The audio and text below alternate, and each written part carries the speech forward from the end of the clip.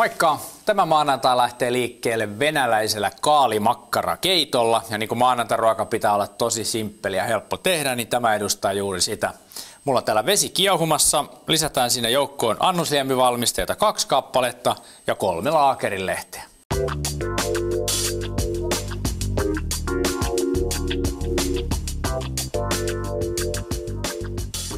Nyt jatketaan sitten juuresten kanssa ja tästä meillä on valkokaalia.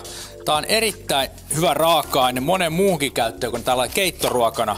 Tuo kanta kannattaa ottaa pois, mutta esimerkiksi niinku raikkaana salaattina ihan loistava. Ja coleslaw on sellainen äh, salaatti, jossa käytetään paljon valkokaalia.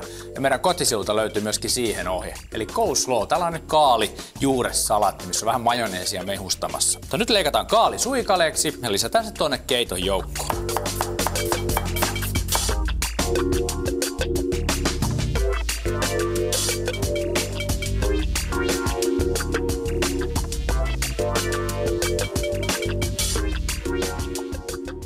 Keitto kypsyy tosi nopeasti, koska suikalet on hyvin ohuita. Ja nyt ruskistetaan vielä vähän makkaraa ja herkkusieniä. Kun te laitatte öljyä tänne kasarin pohjalle, niin laittakaa hyvin pieni määrä. Muuten se on ikävän näköistä, kun keiton pinnassa sellainen paksu öljykerros.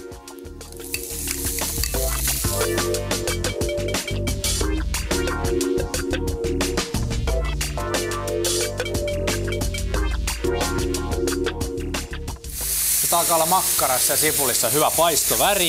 Ja se väri pelkästään, vaan se maku muuttuu niin hienoksi, koska se vähän ruskistuu. Nyt lisätään nämä keiton joukkoon.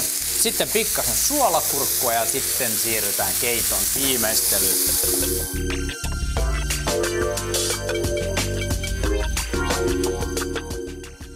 Lisätään sitten suolakurkku tänne joukkoon ja tämmöistä cocktailkurkkuversiota.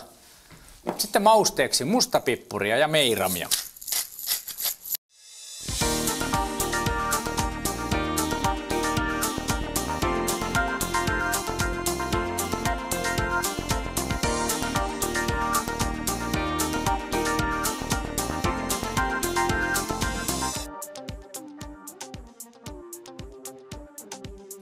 Viimeistelän keitto vielä creme ja pinnalle sitten reilusti persiljaa. Me nähdään huomenna Kirilohin nyyttien parissa. Moi moi! To be continued.